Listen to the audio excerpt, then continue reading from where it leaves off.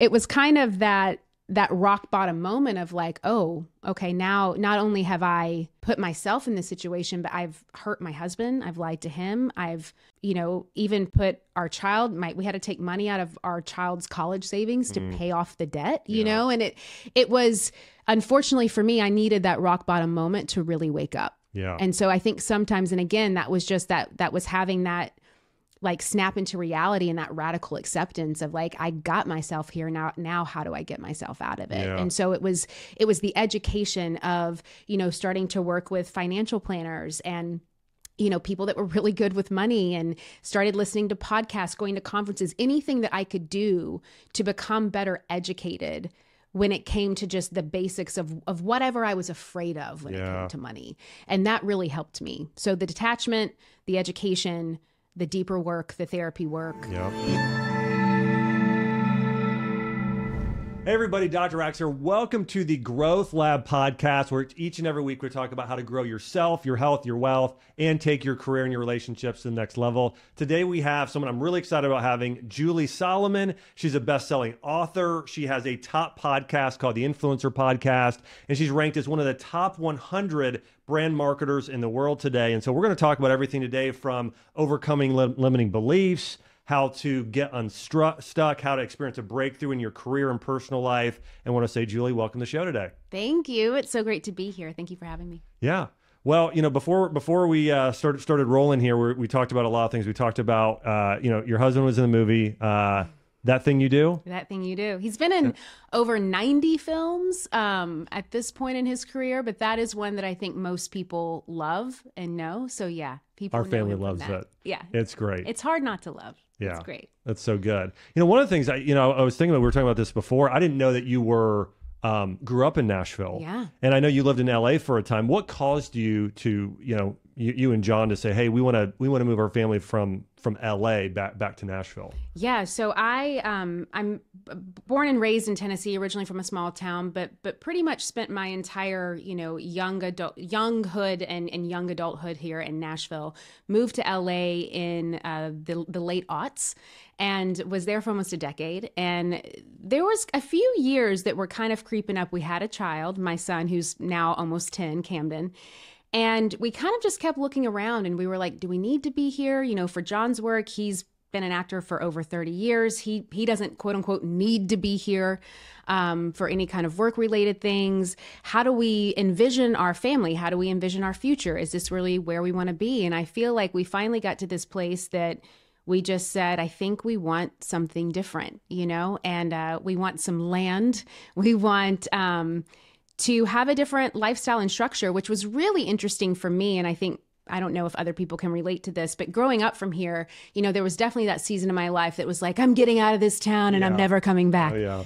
And and I did that. I, I lived in New York for a time and and that's really I, I really started my career, then came back here and then moved to Los Angeles. And and it's funny, we were talking about this before that I now live less than a mile from the house that I lived in throughout my middle school and my high school Yeah. years. And so it's interesting how, you know, the universe can kind of that full circle moment. But for us, it was really just wanting something different for our family. We only had one child at the time. We now have two. But I'll say, um, I don't know if we would have had our second child had we have not moved to Nashville.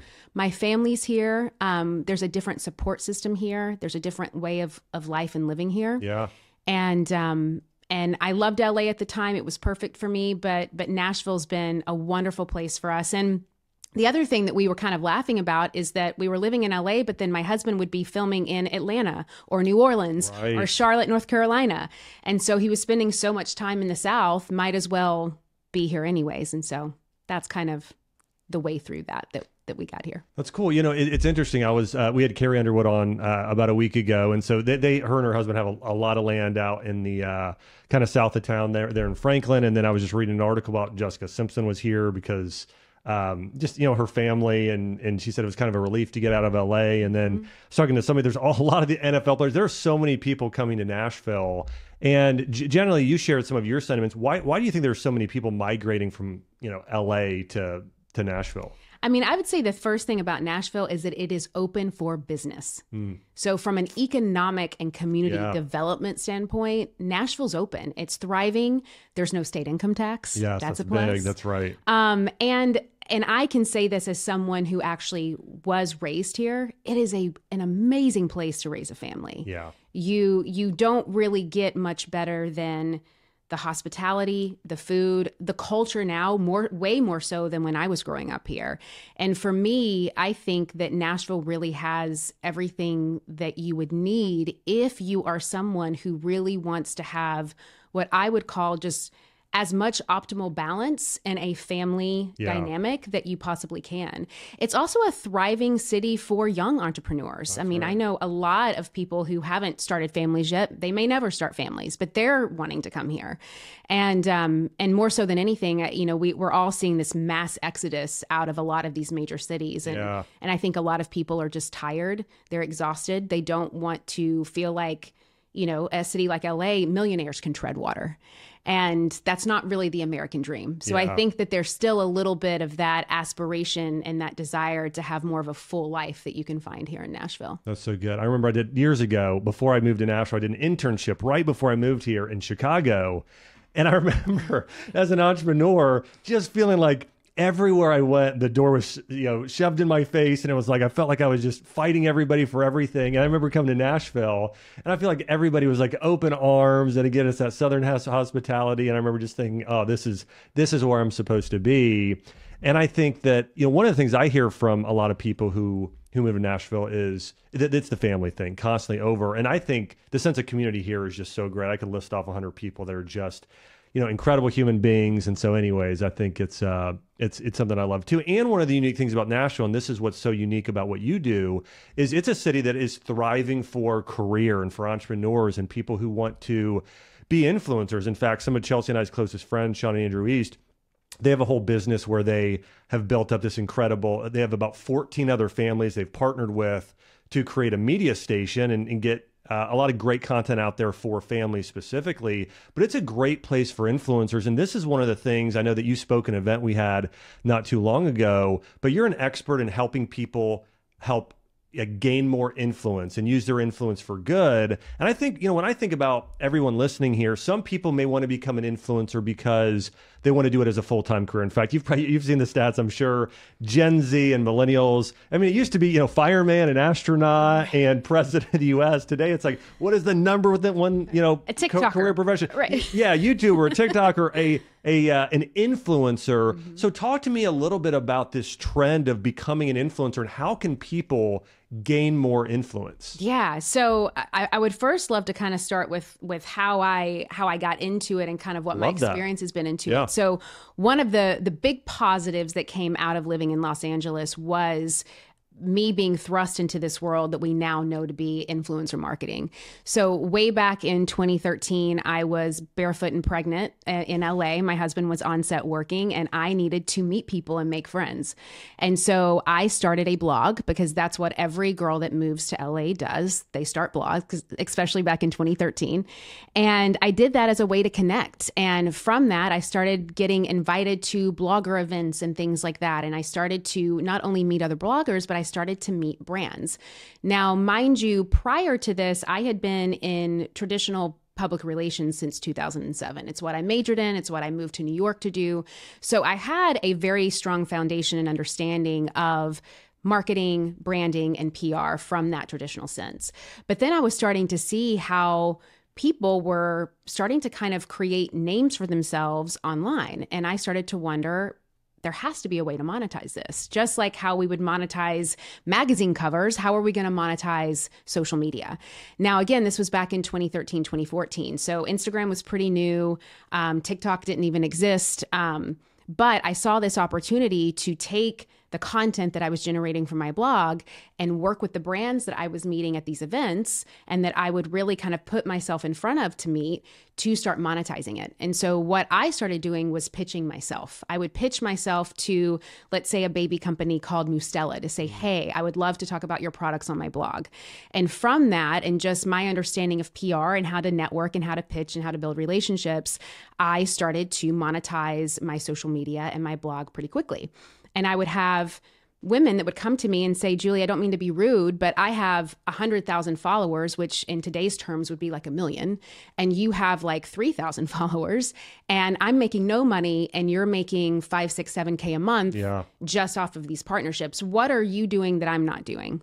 And that's when I really saw this opportunity of, wow, there's a lot of people that want to share their thoughts, their wisdom, they have something to say, they want to create the influence, but they don't know how to monetize it. And so that's really where the business that I have today started. Wow. I started to create courses and I started to consult these what we call them now to be influencers on how to actually monetize the content that they were creating. Because it's not just about being popular, it's not just about being insta famous, but how are you actually not only monetizing this and making money off of this, but how are you creating more sustainability and impact for the long run? Yeah. And so I really started um, with that foundational piece of laying the groundwork of teaching these influencers how to think about their influence as a business, how to think about their message as something that could really create impact and movement, and most importantly, how to really start rooting into their value and what they're worth and what they really envision this to be.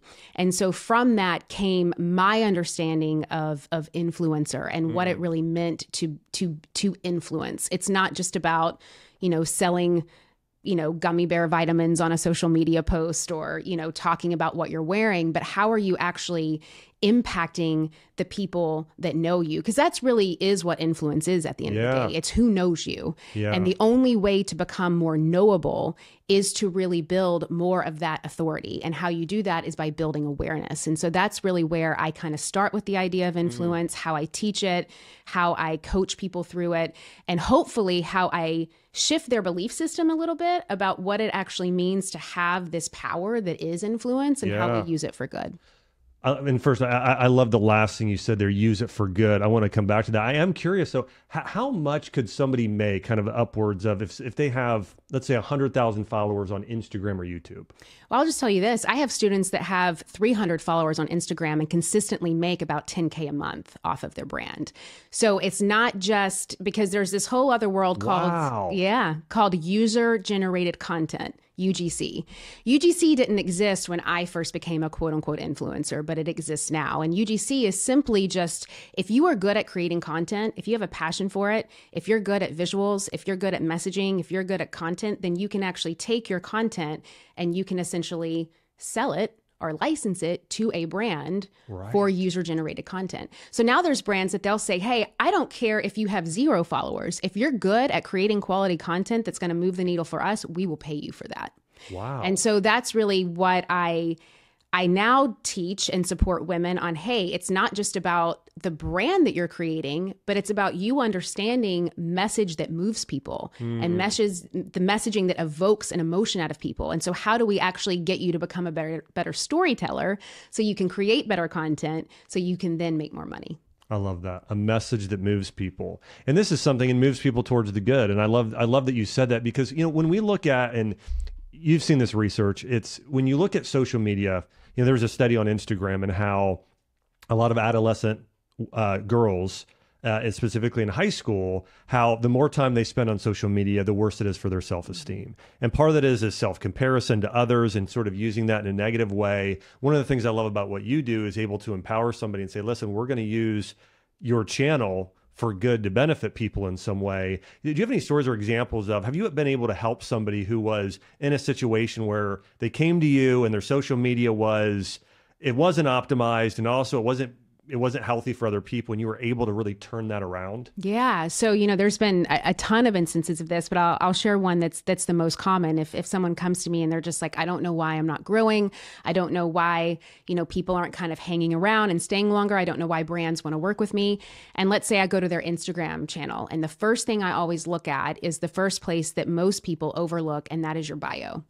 So when it comes Really? to influencers, most influencers that I see, and even content creators, you know, the Instagram gives us 160 characters to make a splash and to make an impact. And most bios sound something like this Mama to two, fur baby mom, yeah. lover of chocolate, Yeah. you know, um, Psalms, you know, John 3:16. It's like, Yeah. what does any of that mean? And why should I care? Yeah.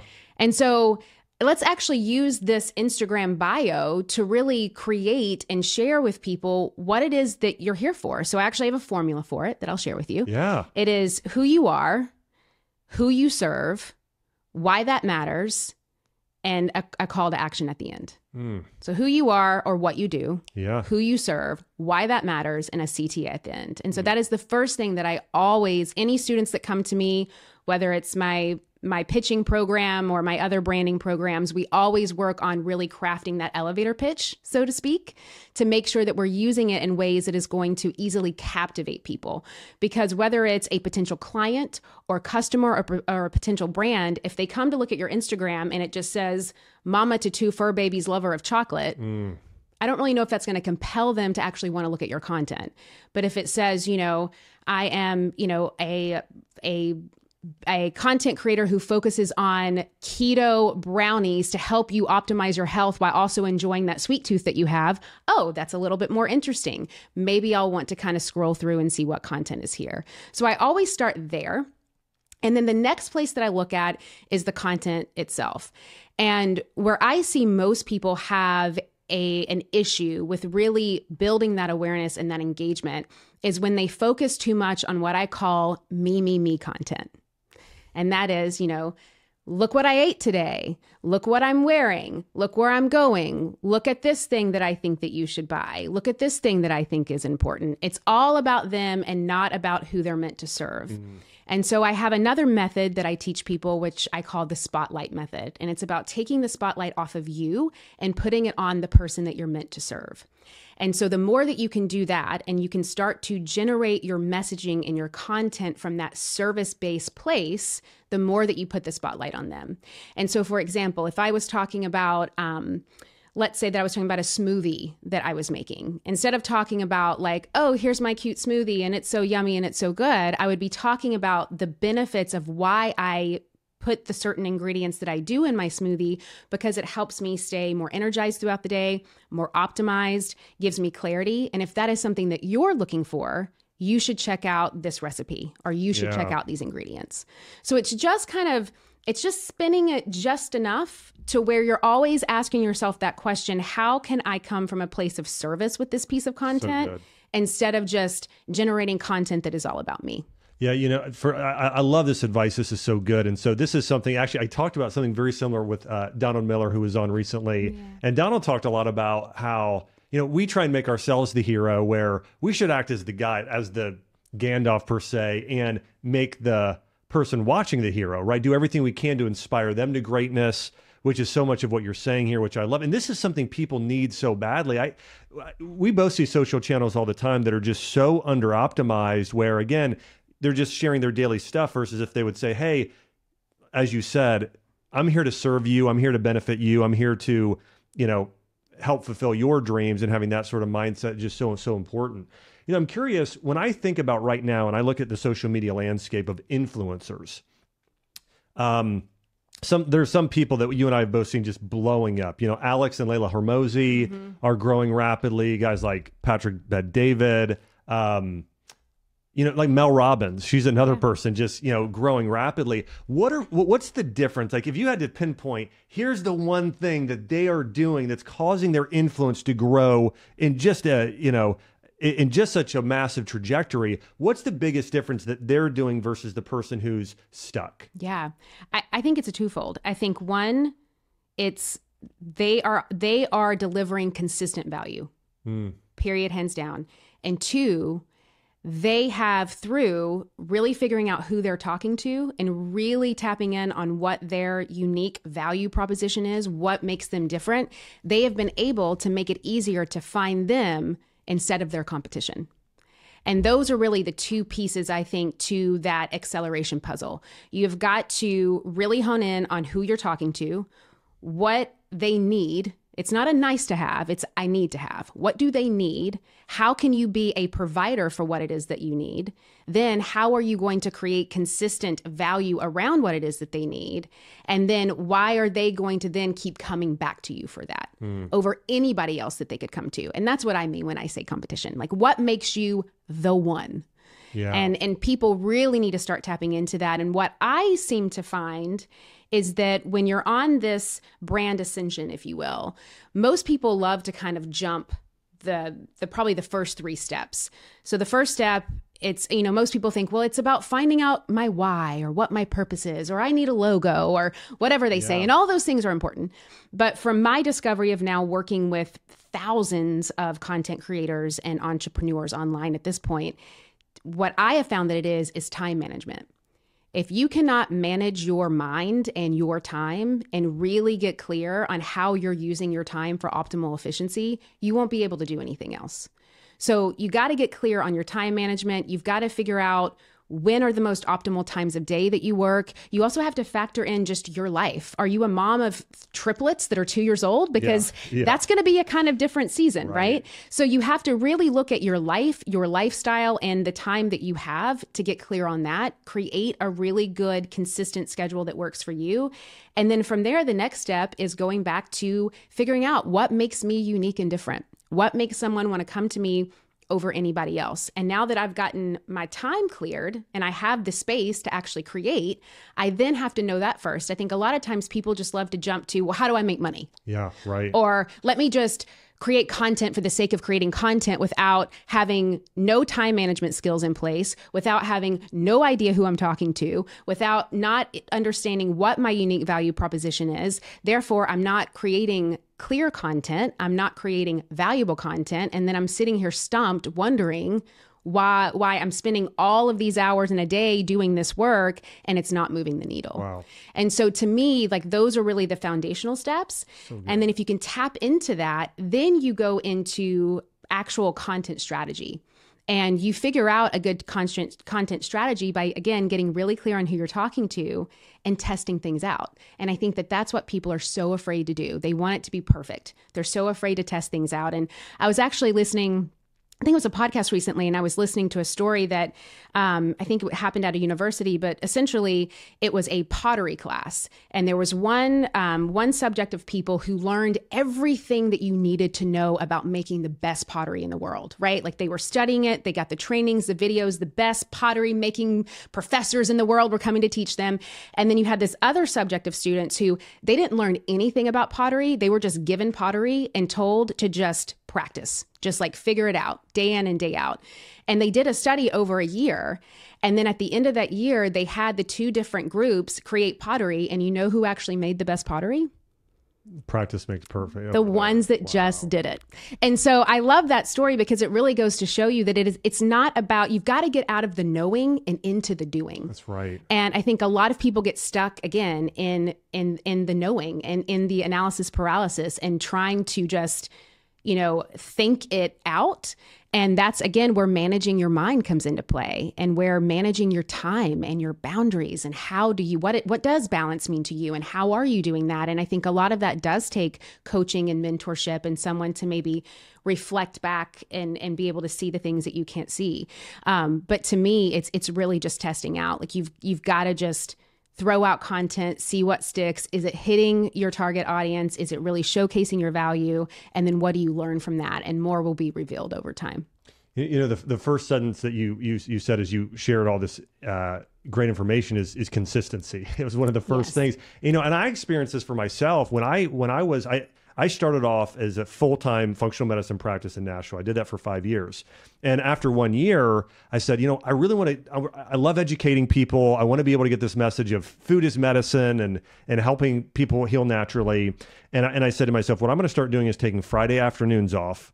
And so I don't have a lot of time to do this, but I'm going to take Fridays from one to five, and so I have a four hour four, four hours a week, and I'm just going to start doing one article and one video. Mm-hmm. And so that's how I eventually started DrAxe.com which eventually turned into Ancient Nutrition and a number of other businesses. But it, it's it's it's your advice exactly, and then it starts to compound over time. If you have a message that people really need to hear and that really helps transform their life and you just get it out consistently over and over and over again eventually you know a lot of people hit this hockey stick moment where all of a sudden wow i mean and, and people will say well, that person became an over the night success. Well, no, typically they had two to three to five to 10 years beforehand where they were kind of building up steam and growing. And so, anyways, just want to say, like, I've experienced the, the advice you're giving is something I really experienced in, in in my own businesses, and I think it's just so important is that that that consistency. Would you walk through if there are maybe three to five points, maybe you know over a course of a minute or two? What what are those exact steps that people need to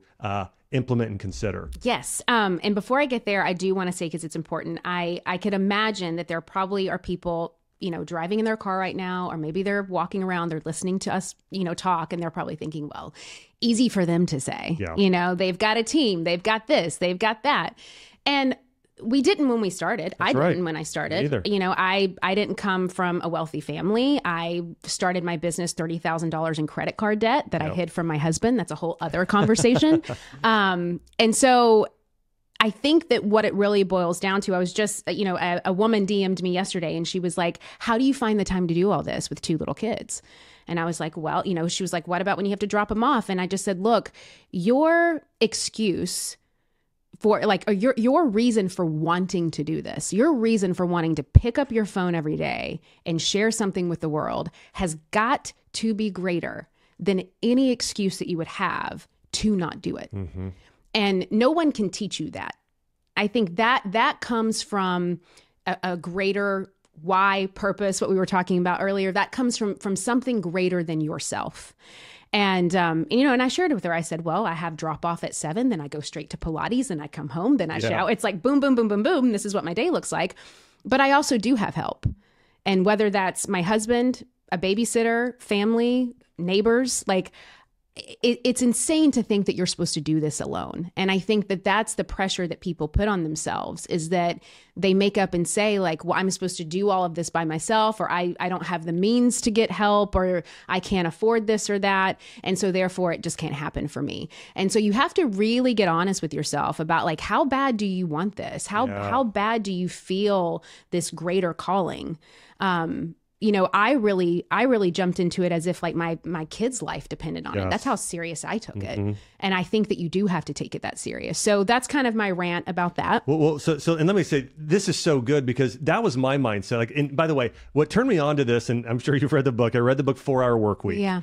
And so at first I'm like, well, I got a full time clinic, and I'm already working 50 hours a week. How can I do this? And I said, you know what? I realized I'm going to skip. I'm going to I'm going to take 50 of those hours and take four of those hours. I'm going to say, okay, I'm going to find four hours to just give it my all, do everything I possibly can, and do this undistracted, just totally focused. I think there's a lot of people, you know, I think about like my wife, Chelsea, for instance, where uh, Chelsea's pregnant with her second and she's busy, has a lot going on.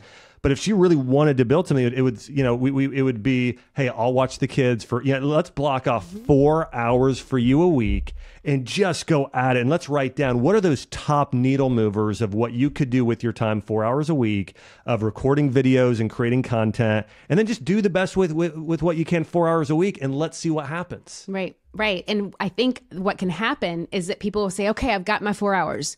Now what do I do?" Mm. You know, and it's because they haven't laid those foundational steps. So let's walk through those. So we could we could walk through those. So I, I talked about the first one, time management, and and mind you, I I tend to work with a lot a lot of moms, a lot of women who we don't have time. We've got the kids, we've got the life, we've got the this, we've got the that. That's always the the excuse. I hear it more from from women that I do from men that they just don't have the time.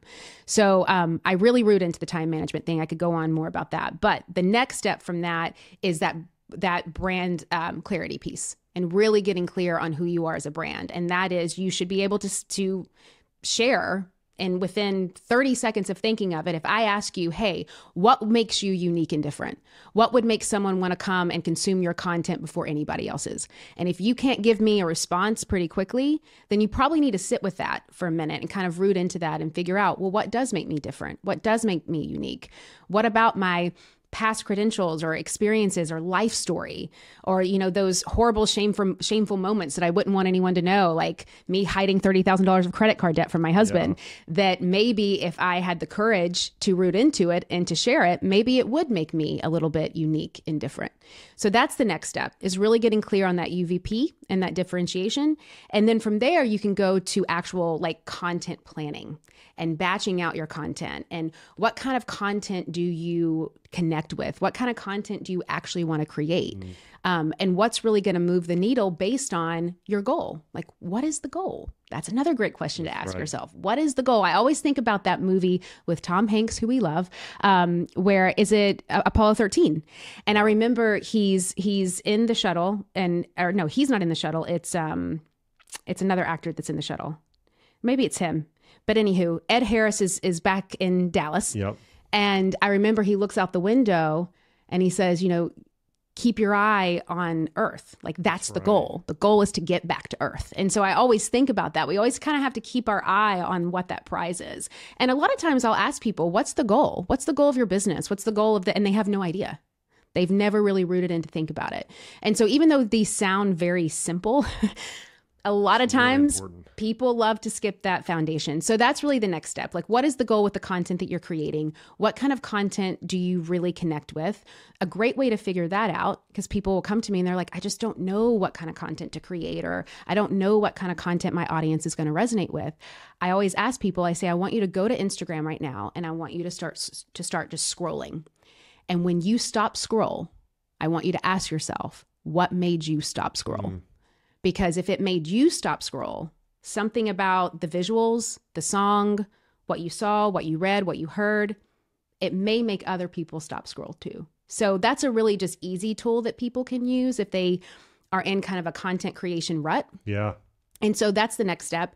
And then the step after that is engagement and like legion and how are we really calling people to us? Because again to me it's it's really networking and influence. And we talked about influence. Influence is who knows you. Networking is who you know mm. and so really building how can you build relationships how can you build the networking how can you use the people that you know or the people that you know you to really build up engagement and so um, i teach a lot about that and then after that then comes the monetization and the revenue that everybody wants and so that's kind of at the top of the pyramid so to speak so good. Um, and but you can't really get there unless you've laid all those other core foundations and if anybody wants to see this pyramid because i don't have a, you, you can yeah. go to juliesolomon.net slash profit. And we have a downloadable for that pyramid and you can see the steps and how they work. Uh, we'll put a down uh, we'll put a link to that in the show notes. So good. Thank you. I mean this is so good. And i, I think I, I think the other thing i want to kind of demystify everything is that like when i started out um I, I, didn't I didn't have much time. I didn't have much money. Didn't have any of this. And so again, it's that thing of I had four hours, and I went through a very similar process to what Julie walked people through. And you'll see, you know, when we talk about the people that have, again, we mentioned Patrick Bet-David and Mel Robbins and Alex Hormozi, you know, these people they, they they do a you know they do a version of this, but you're making it accessible to anyone and everyone. And you talked about even people have 300 followers total on Instagram. Even you can leverage it and follow what Julie's talking about. That's so important. Can you give me an idea? And I asked this earlier, but I, I do want to get a sense of this. If you were to help somebody go from, let's say they've got a thousand followers mm-hmm. and get up to 10,000 followers and they follow the steps you're talking about. Now, outside of the giving away, uh, creating content for a brand model, how, how much could somebody make if they had 10,000 followers on Instagram and were very, very, you know, specifically focused on a specific niche? Sure. Um, depending on the, the deal, the yeah. opportunity, the terms, the exclusivity, um, you could make with 10,000 followers, I've seen anywhere from $5,000 upwards to $15,000 for that one project. And that's a month. Oh, yeah. That would just yeah. be off one project. So if you did four projects in a month, you know, four. I mean, it's amazing. Yeah. I mean, it, one of the things I think more and more people are realizing, and I'm I'm still realizing this, and it's so funny because you know I've got a podcast and and uh, and and fairly substantial social media following, and, and we're doing you know I'm, I'm constantly um, you know talking about my favorite products. In fact, we got a product coming up. It's sort of it's this uh, grass-fed beef that they mix in liver and heart, so organ meats. And so, sorry, that's just the latest one we were talking about. I have Oura Ring. It's another brand. Yes. But all that being said, it's it's amazing just to think about how how how how marketing has changed so much. And so and how really things are shifting from even more written content to way more video content and video ads and influencer everything is influencer marketing. It's it's we've seen this shift over the past couple years but it's the absolute future. So if anybody's listening this and again if you want to create more wealth for you and your family again following these steps is you got to start somewhere. But if you really in, invest and in, implement this over the next one to two years, you can put yourself in just an incredible position and just absolutely shift your financial destiny. Yeah, and I've seen so many different people from so many walks of life do this. Through, I mean, scuba divers. I have one. I'll tell you a story quickly about a student named um, named Cassie that I have, and she came to me and she had I want to say like four thousand followers on Instagram, and you know what her brand was? Her curly hair. That was her brand. And she figured out how to create really good quality content on how to keep curly hair healthy, like tendrils of curly hair. This little company called Ulta called wow. her up or she actually pitched them and she is now she she was at least I think it's still there for like 18 months she was plastered all over every Ulta store nationwide with 1700 followers for her curly hair because she created content and did a whole project with them on how, if you are a curly hair girl, how you can keep your curls healthy. And so for people that come to me and they're like, "Well, I don't have anything." Well, do you have hair on your head? Yeah. Maybe not. Maybe you're bald and then that's going to that's going to be the the content that you create. But you know, I had a scuba diver um, create a huge travel brand because she pitched really high end hotels, she said that were on the coast, you know, hey, I'll come to your resort, I'll scuba dive, I'll take photos, I'll create the content for you, and I'll deliver that content for you. Wow. How much is that worth to you? Hmm. And so at the time, that was really valuable to her because traveling the world was really valuable to her. Yeah. And so there's so many ways that you can skin that cat. I think the the most important piece though is a giving it a try you know learning how to put yourself out there learning how to pitch yourself to brands learning how to how to create better quality content um, and at the same time you know, really be open and transparent with sharing. I think that a lot of times what happens is people don't know how much to charge or they don't know this or that. And, you know, marketing budgets have to go somewhere. They, they don't disappear. They're just reallocated into other avenues. And the more that we are open and the more that we can share about our experiences or you know i worked with this brand or i had this project and this is what the terms were and this is what i did in exchange for this kind of compensation or this kind of trade then the more that everyone is just going to win. Because what we don't want to happen is that people keep devaluing themselves, right. which means you know we're not ma- no nobody's making as much money as they could. I mean, one of the things this is such a good point because people constantly devalue themselves. Mm-hmm. I, I. I think if people would realize their their their full potential, which almost nobody sees their full potential. But I think if somebody's actually able to see that, they're able to do so much more because most people give up before they even start. Right. And we see this happen all the time. And I love thinking about this example you gave earlier, the pottery, mm-hmm. right? It's like just practice your pottery for a year. Okay, you don't have to be perfect. It's you, you don't you don't have to have every single step, you know, thing already figured out. It's like just get in there for a year, try and follow some of the steps, try and learn from people like you and other people and just practice your craft, practice doing things for a year and just see what happens. And I think for a lot of people they'd be surprised. Now, one of the things I know that gets in the way and this is something that I love that you do is you help people both with growing their business, helping them with, with professional development and growth. But you also help them in aspect of personal growth because often they go so hand in hand. Talk to me about what are some of the biggest personal issues that keep people from having professional success? The biggest one that I see is lack of worthiness. Wow. I mean that when it, when I really boil down to it. So before any of those places though, money, money mindset, people are afraid to ask for what they want. They're afraid to negotiate for what they want. They're afraid that they are going to offend someone if they ask for what they want. Um, they're afraid of money. Yes. People are afraid of money. Especially, I've seen um, in my experience with a lot of women that I've worked with, it's one of two things. They either make money and then they don't feel worthy of the money that they've made, so they spend it faster than they can keep it, which is what happened to me when I first started, you know, figuring out my way. Um, and that's what got me in $30,000 of credit card debt. Or they'll make the money and they'll be so afraid to lose it because they don't have this worth in them that that that it's abundant and that they can generate more of it. So it's kind of like they stash it in their metaphorical shoebox underneath their bed yeah. and then they don't look at it. And this really comes back down to what um, old school marketer named Brian Tracy. I remember oh, reading yeah. a book from Brian yeah. Tracy and he talked about the self concept of money and it was fascinating. And he he um, attributed it to a similarity of if, if you think about your self concept of money, you think about a thermostat in your home, right?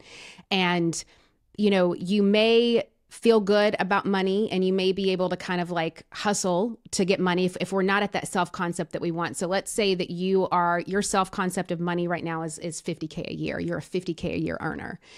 You are either going to proceed in scrambling behaviors to get to the 50k and that's when we hustle harder and work harder or once you get to that 50k you're going to relax or if you make more than the 50k you're going to spend it so hmm. you can get back down to the 50K. Wow. And so he was attributing it to like a thermostat that if your house is set at 75, it's going to always find its way back to 75 degrees.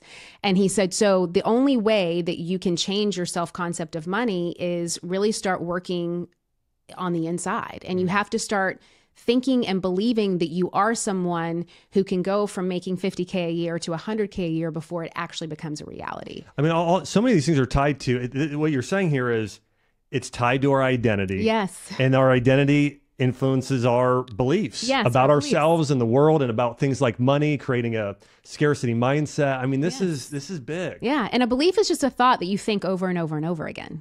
And we can change our thoughts, which means we can change our beliefs if- we want. And so it's really about you have to become the person who believes that they can fill in the blank before you can actually start working on becoming that person. You, you, you know what's so interesting, and I've I've spent a lot of my career, especially the past five years, studying psychology. And one of the things that tends to happen is these ten, things tend to to happen because of a, an event in childhood that that we have a memory of that then starts this sort of neurological cycle. So it could be, you know, when I was a kid, I had a relative who said, you know what, people that essentially people that are rich are evil. So, so if people start, and by the way, I've seen this because I grew up in a house of of of, of uh, people of faith and was around a lot of Christians growing up. It was really interesting. It's like you you got a, one group who is, you know, sometimes it's like, hey, you know, there is no limit to to money in, in terms of how it should be used, and there's another group of people that have money are evil. And I think the real balance here is is what you talked about. It's no, use it for good. Listen, it's okay to take care of yourself and family and have nice things, but also you should be ultimately conscious of giving back to God and giving to you know the poor and and for missions and things like that. So I think people's self concept of money is so- so so important. But that worthiness thing you said is this. These things are so tied into identity. Do you have any things when you're working with people and helping them overcome this? Do you have any sort of practices or things that you help them with, and how to change a limiting belief? Yes. And uh, to me, it really comes psychologically back down to detachment. So I'll give you a story that I had when I was young. I remember my mom coming in with shopping bags and running to the closet to hide them from my dad because she didn't want my dad to know that she went shopping. Can I just say this is so relevant because I actually picture my mom doing this. So So, and, and shocker that I would have $30,000 of credit card debt for my husband when I became an adult. And so it's, it's first about awareness. You got to be really keenly aware as to what is your origin story around money. Hmm. You know, what, what were you told about money when you were young? If you were told that it was evil, if you were told that, you know, maybe it caused your parents to divorce because all they did was fight about money. Yeah. You know, what is your money story? And really getting keenly aware of that. And then once you have the awareness to understand it, then you can start building more awareness around well, how does my origin story around money actually dictate how I am living with and having a relationship with money now? And that, that's just fascinating in and Yeah. of itself. Then once you can get to that awareness piece, and, and this is this is like an old 12 step awareness, acceptance, action. This is like an old 12 step thing. So you can be aware of your money issues. Then once you have awareness, you can accept the reality on reality's terms. Okay, now can I be in acceptance of my part to play? in this and in my relationship with money and my fear of money and my overspending of money um, you know can i be in acceptance of it? And then from there once you can accept your part to play in it then you can start taking action to start really getting to the other side of whatever that issue is. And and everyone's issue is going to be different to some degree but also the same to some degree. So the action for me was detachment. I had to really start to detach what my parents' money issues were from what my money issues were. I had to st- to start detaching what my fears might have been around my own self-worth and value around this just exchange of energy that is Yeah. money. And then from that, I had to also get help. So, you know, therapy and reading books. And then I also had to get education. I had to learn, you know, I was also someone that told myself, well, Julie, you were you were a C plus B minus student. You were never good at math. So what makes you think that you can manage your own pocketbook? No, no, no. You're going to have some fairy husband person that's going to come down from the sky and just manage your money for you. That was also kind of a southern mindset, me well, being well, born so, and raised in so, Tennessee. So, so, I went to for undergrad, went to University of Kentucky. Yes. And I mean the, the joke or the thing around, you know, school and undergrad was everybody, you know, all, a lot of the women there were there to find a MRS. husband, not to yeah, yeah their MRS degree. That's right, yeah. MRS degree. And and that was it's like you know I'm I'm from a small town, and that's what happens. You you you as a woman you get old, you know, you grow up, you get married, you have babies, you stay home, and your husband takes care of the bills. And I even still have family members, female family members in my family that they don't even know how much money they have. They, I mean, if, if something happened to their husband tomorrow, they would, they don't know how to balance a checkbook. They don't know, they have, they don't know how to access an ATM. And that, and that's, that's, that's their, their reality. Yeah. Right. But I had to, when I kind of had my rock bottom moment of, my husband refinancing our home and you know hey what this $30000 credit card my husband's like what are you talking about? We we don't have credit card debt. And you know the lender's like yeah you do. You've got $30000 actually.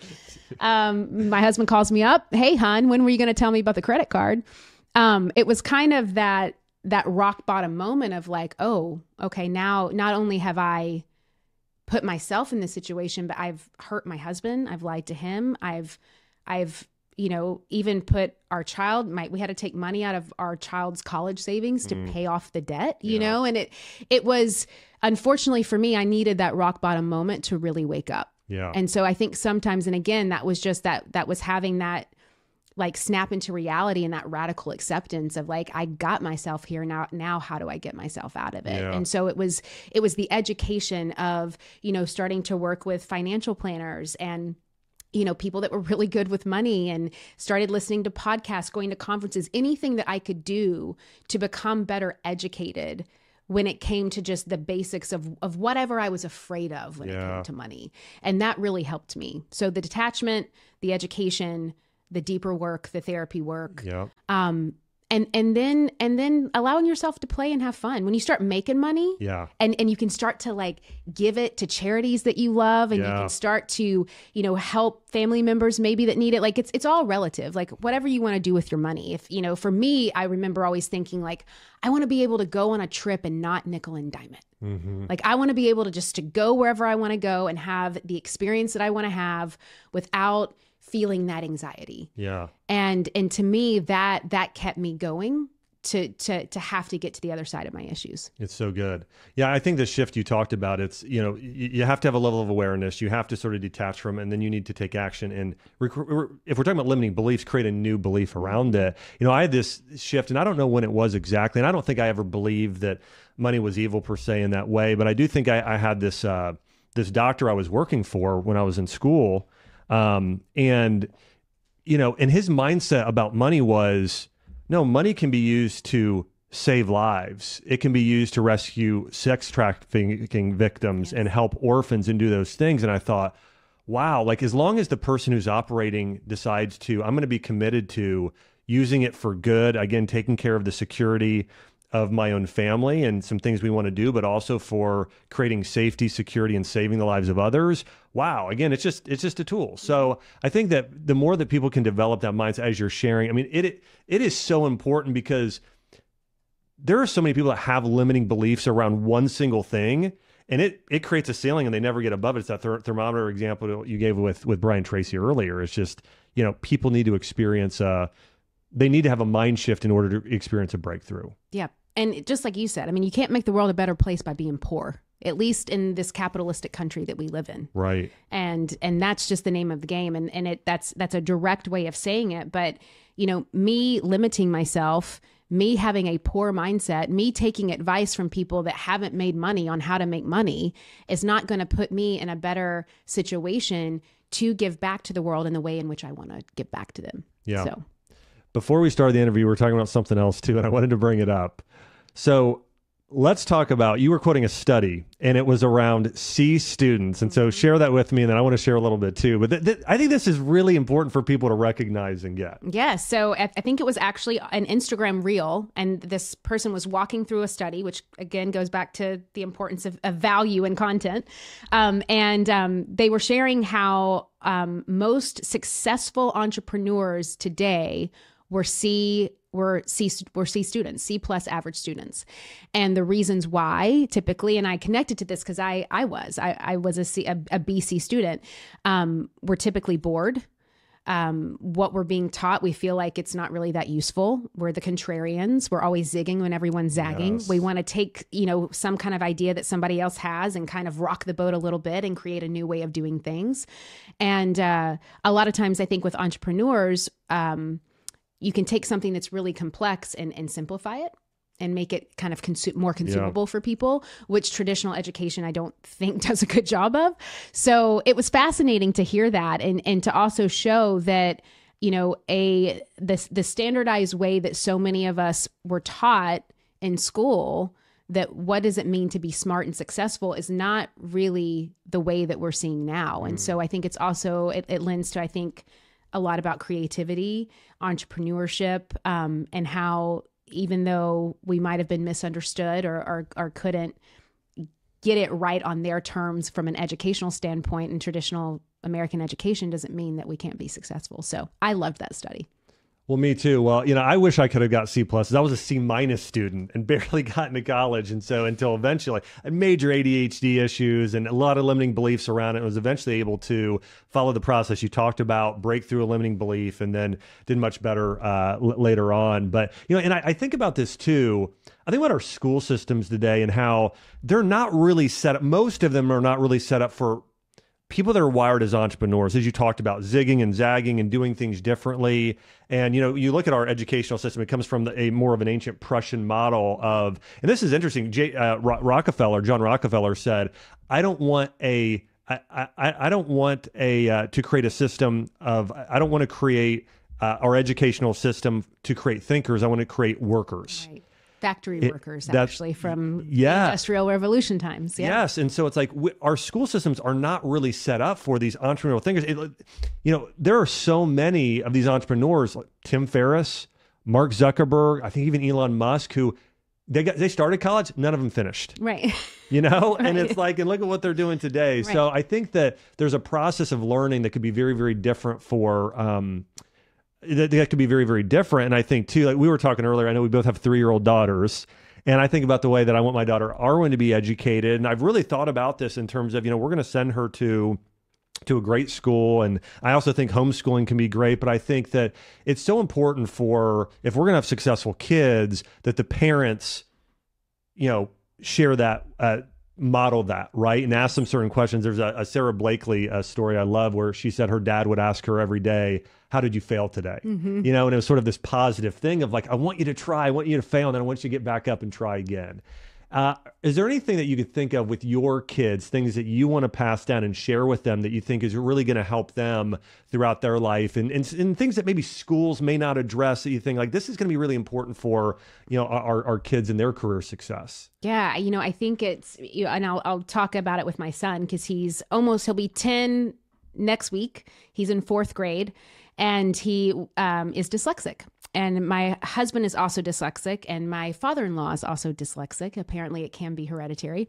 But my husband was very adamant about us doing it differently with my son because my husband had horrible memories of you know he had to he had to ride the short bus to school and you know they he would they would call him up to read in front of an entire class and he would you know actually end up you know peeing on himself because he would be so nervous and so he had a lot of like trauma from that and it wasn't until because my husband's 54 it wasn't until his late 20s i think that they were like oh you're dyslexic.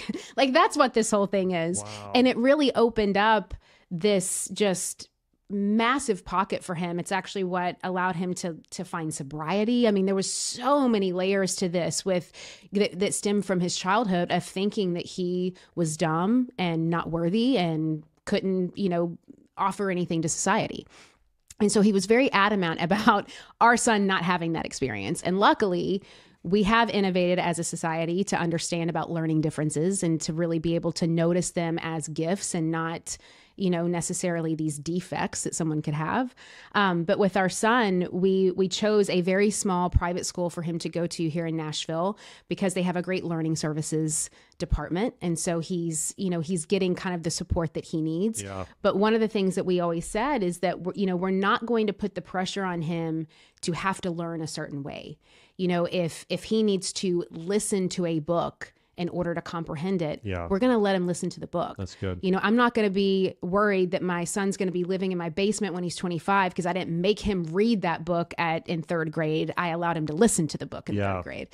And um, I don't know if his teachers would necessarily say that's great for him, but at the end of the day, he's reading, he's comprehending, he's able to do his writing assignments, he's excelling at school. So I think it's working. So I think it's just little things of that as parents. You have to let yourself give yourself the permission to to let your child reveal to you what it is that they need in order to be successful. We've tried to stay open to that as well. Um, but I think it's it's really looking back as to what did we not like about our experiences and how can we make that different. Um, my experience was, you know, kind of similar in the sense that I just I never really loved being in class. It wasn't until college that I really got excited about what I was learning Yeah. um, I, I was always kind of bored and, and had other more important social things that I needed to do. And so um, I think that that finding that balance now, and like you said with homeschooling, um, I we haven't experienced that, but we've had some friends that have and, and have had a great experience with It's that. big in Nashville. It is. There's a lot of homeschoolers here. But just allowing yourself to stay open and, and curious with things that may feel a little alternative, but could actually be very beneficial for your child in the long run. Yeah, it's so good. You, know, you got a new book out. I, Yes. and I want to mention, and, and first of all, I love the title because this is something everybody wants: is how to get what you want, right? So, so talk to us a little bit about how to get what we want. What are some of those key factors, and then talk to us a little bit about some of the things, some of the big highlights you cover uh, in in the book. Yeah. So, yeah, get what you want. Um, how to go from unseen to unstoppable. The title is in your face, which that was intentional.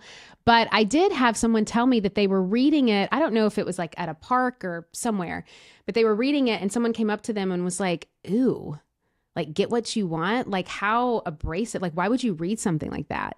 And the woman was like, Well, what should I be reading? How to not get what I want? yeah, exactly. What's the alternative? I, I mean, people can be offended by anything today. Right. Just, I love the title. Love it. but I think that it's interesting because that is a mindset for a lot of people that you you That's come right. in somebody's face and like right. go get what you want and they're like, well, no, I I can't do that. I shouldn't do that. How dare you do that? And it can it can cause a lot of uh, internal conflict, and that's really why I I called it that, and and and the message is throughout. And so I think that in order to get what you want, you have to know what you want, and in order to know what you want, you have to first know what you don't want. Yeah. And I think that really at the end of the day, the world, it doesn't give you what you want, it gives you who you are. And so if you want to get what you want, you have to really start rooting in to those belief systems of of who you are as a person and and how are you reflecting that back into the world because that's what you get. It's like a boomerang. Yeah. And so that's really the core message of, of the book is is getting clear on that and then the steps to get you there. It's so good. I was thinking about this too, just even for myself. And it's like, you know, I want to be a great dad. I want to be a great husband. I want to be a great child to God. I want to be somebody who's faithful with my mission and a good student. You know, so for me, it just goes to I can only think of the positive. But I actually, when I did read this, I thought there are going to be a few people that think that this is some sort of. But it's important. The other thing, the second part of this title, how to go from unseen. You talked about worthiness earlier. I think this is such a, a, a key part of this. Is I think I've been reading all this literature on psychology recently and just this epidemic around loneliness. I saw this mm-hmm. study on Spotify or uh, about Spotify that said the number one search term on Spotify right now is sad because people are looking up sad songs. It's a generation of people who are really sort of basking in this sort of, you know, level of just being sad. But my, my point there is is that one of the things I love so much about what you do is you help people get seen you help them gain influence and then using that influence for good so it's such a it's such an incredible thing you know one of the questions i wanted to ask you uh, as you've been exposed to? You talked about networking earlier, and by the way, this is so. I actually think we might have met through Rory Vaden. We did who I was Rory- like, you can't you can't say the word networking and not bring up Rory Vaden. I mean, Rory is the ultimate network. He In fact. I think Rory connected me to. I mean, I could mention a hundred people. I think maybe it was Lewis Howes and Donald Miller and Michael, all kinds of people that I know were. He's he's both amazing. He's so brilliant. He's so lovely. I adore Roy and I'm so grateful for him and and it's true. I've he is he is the master networker He is. in in the most beautiful way. yes, yes. So if anybody wants to learn about networking or brand building, Yes. Rory is he he's he's your guy. He's he's pretty great. Um, so talking about networking, you've got a lot of advice. I'm sure over the years you've both given a lot of advice, but you're you know walking in humility. You've got a growth mindset. You're wanting to grow. What is one of, or what is the single best piece of advice you've ever received? Hmm. That's a good one. I would say honestly, go easy on yourself. That is good. Simple, but I have to remember that every day. You, you know, I was I was listening to this lecture on identity, Mm-hmm. and the the the this the lecturer is incredible PhD. He was walking through sort of identity today, and it, people tend to fall in one one of three categories. Uh, traditional identity. So think about like everything is about duty. We're giving ourselves for our community. There was the next one is modern identity, which you're at the center of everything, but because you're at the center, there's all of this pressure and i think about a lot of the women you speak to it's like well sometimes i think there's there's a lot of women who feel like well i've got to be a five star mom and i've got to be an incredible wife and i've got to work 40 hours a week and i've got to volunteer and i've got to be seen as perfect from the outside. And he talked about this modern identity because you're the center and everything's about you. Well the weight is just crushing for some mm-hmm. people. Mm-hmm. And so, anyways, that, that's my point, though, is I, I love that piece of advice because I think a lot of people in a generation is feeling crushed because they have to be everything. And and it's hard. And so going easy on yourself in that way. It's vital. I think Yeah. it's vital for survival. It's it's it's so unmanageable and unrealistic to think that we can be optimal in all of those ways. And so you have to take the pressure off yourself. And I think for me that started with the the most important question that I've ever asked myself before, which is how important is it? Hmm, that's good. and like really getting clear on like how how important is it really that like I do these five calls today or that I go to that event or that I sign up for this thing or that I volunteer for this thing or that I do this thing or that I fly to this like how important is it really? How important is it really to even respond to someone right now? Yeah. like was did they ask me a question? Do I need to respond? And so that's been huge for me is because when everything is important, nothing is important. So good. And so really getting clear with yourself on how important is it and then when you when you understand that for yourself, where where can you go easy on yourself? Um, I've I've let a lot of of the mom guilt go. That is one thing that thankfully I I don't deal with on a day to day basis. I'm not going to be the the the P, like the PTA mom person. I'll come and volunteer at some things, but I'm not going to be the mom that's like all up in the school every day. I don't No. have the capacity or desire for that. Doesn't make me a bad mom. I know where I stand with my children. I love my children. They love me, and I don't need to prove that to anybody. Yeah. And so as long as I'm clear on that and I'm I'm really listening to to where God is guiding me Yeah. when it comes to my parenting, when it comes to my work, um, it will be revealed to me what is important. So I can I can kind of let my hands off the steering wheel a little bit. That's so good. You know that third identity, which I didn't touch on yet, is called a divine identity. When where it's like I, I'm I'm created for a purpose for not even now, but for eternity and impacting life. It's a very so. Anyways, I just even even even hearing you speak, there's a level of that just sort of within you, and I think also you're talking about here. It's like what came to mind when you were sharing some of these things is what good is to gain the world if you lose your soul, right? It's this thing of in priorities, knowing, hey, these are the things that are most important in life I want to give to, and then everything else, if I have time for, great. If not, it's okay. I don't need to, I, you know, I, I don't, I don't need to do everything or be everyone to uh, be be everything to everyone. You know, you you've cr- experienced a lot of success in your career and in your life. When you think about success for you, 25 years from now, like pa- paint me a picture, kind of visualization here. Like, what does success look like for you in 25 years? Ooh, 25 years, I think serenity and just peace. And what that visually looks like is, you know, really working on the things that light me up, saying no to anything that doesn't, which I'm already doing now. Um, you know, really putting my family first, which I'm already doing now. I mean, I'm I think it's now kind of setting that setting the the stones, if you will, or the groundwork, the seeds, if you will, to, to have the fruition of that. Um, and most importantly, I think just just staying in the gratitude.